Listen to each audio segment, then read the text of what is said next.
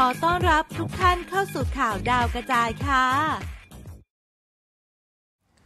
เพื่อนๆในวงการแห่กอดแต้วนัทพร หลังสูญเสียคุณพ่อจนได้เห็นรอยยิ้ม หลังจากที่เกิดเรื่องราวสะเทือนใจ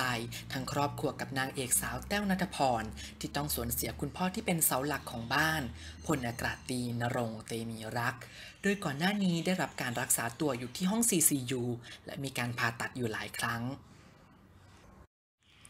ทางด้านครอบครัว พร้อมเพื่อนๆในวงการบันเทิง ได้โพสต์ขอรับบริจาคเกล็ดเลือด เพื่อนำไปช่วยคุณพ่อ และแล้วเมื่อวันที่ 1 กรกฎาคมที่ผ่านมา คุณพ่อของสาวแต้วก็ได้จากไปอย่างสงบที่โรงพยาบาล และได้จัดพิธีศพอย่างสมเกียรติ มีเหล่าคนดังและญาติพี่น้องมาร่วมอาลัยท่ามกลางความโศกเศร้าก็ยังมีคนเข้ามาให้กำลังใจสาวแต้ว และครอบครัวแทบทุกวัน โดยเฉพาะการกอด ถ้าหากมีเพื่อนที่สนิทหรือเพื่อนในวงการบันเทิงเห็นหน้าแต้ว ก็จะโผล่เข้ากอดทันที ซึ่งวันนี้เราได้รวมภาพอ้อมกอดที่มอบกำลังใจ